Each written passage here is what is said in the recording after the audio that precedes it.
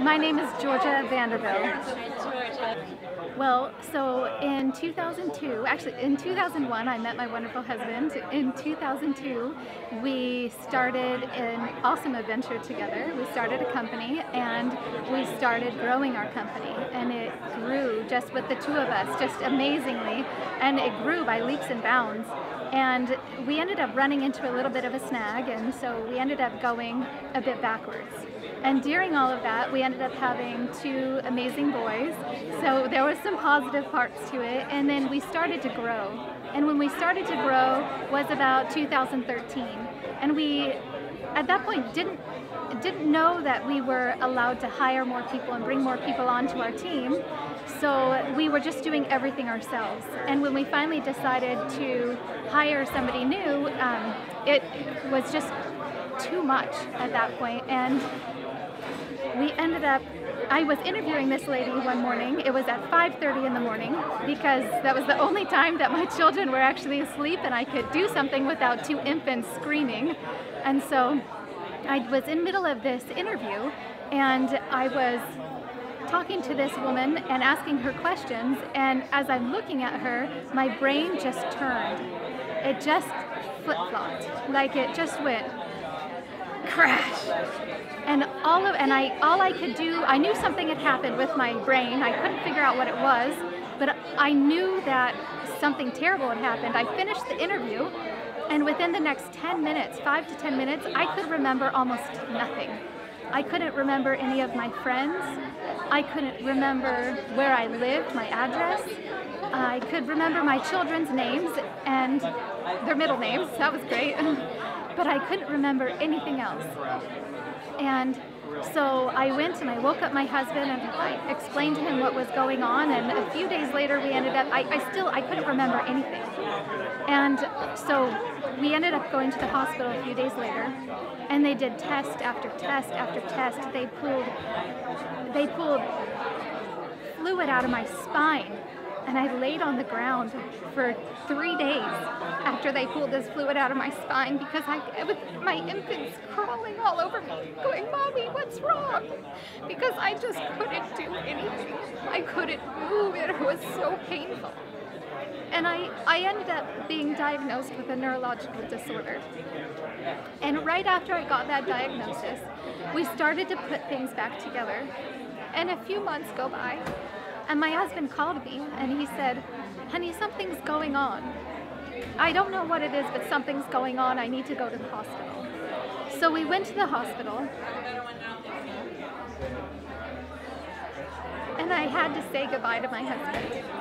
As he went through this door with two crying infants, they were just little, little guys in my arms. And they had to say, all of us, we had to say goodbye. And we found out that he had testicular cancer. And within 14 hours, he was in surgery. And then we had to go through the aftermath of all of that.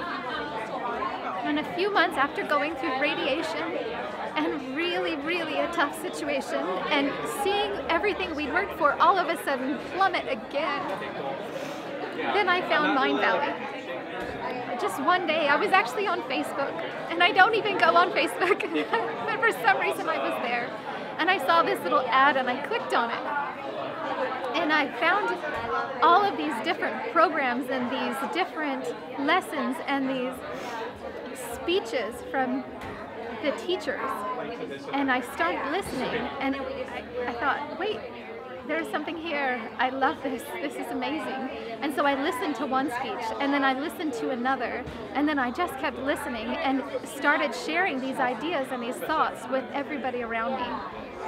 And I was able to grow so much. And just with the things that I learned, I was able to transform our company into this amazing place. Our, our kids are growing up in this wonderful, healthy, educational environment. And my husband is happy and we are all coming together as a wonderful family. Our business has just grown. We have seven employees. There's nine of us, including my husband and I, and it's just absolutely amazing to go through this wonderful journey. And and I thank Mindvalley for that because there was somebody who had a vision of what they needed to do and what they wanted to do to help the world, and I got to tap into that vision, and I got to use that for myself and for my family. And it has been incredible and an amazing thing for me in my life.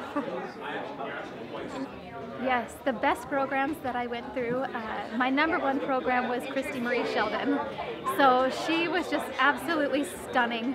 The different things that she taught, the different um, beliefs that I had that I didn't even realize I had, but she was able to bring those up and she was to clear those and I was able to forgive myself, other people from my past. I was able to release all of the thoughts that I had and move on. And after being able to release those thoughts, that's actually when we saw our company skyrocket. So we had, I, I did, I think the reason why we went through me being really ill. And I don't know if my husband would have had such a hard time, except maybe I didn't learn enough from my own experience that, that we had to go through this other experience as well so that we could learn and get to a place where we said enough is enough. What can we learn? Where can we go? And so we love Christie Marie Sheldon. And then we also love, of course, Lisa Nichols. She's amazing and wonderful and has definitely helped us with our communication with our employees and our customers and, um, and being strong and knowing that what we're doing is awesome. And then also uh, Marisa Peer and just knowing that I am enough and being able to apply that into every aspect of my life and to take out those limitations that tell me I'm not enough. So I am enough.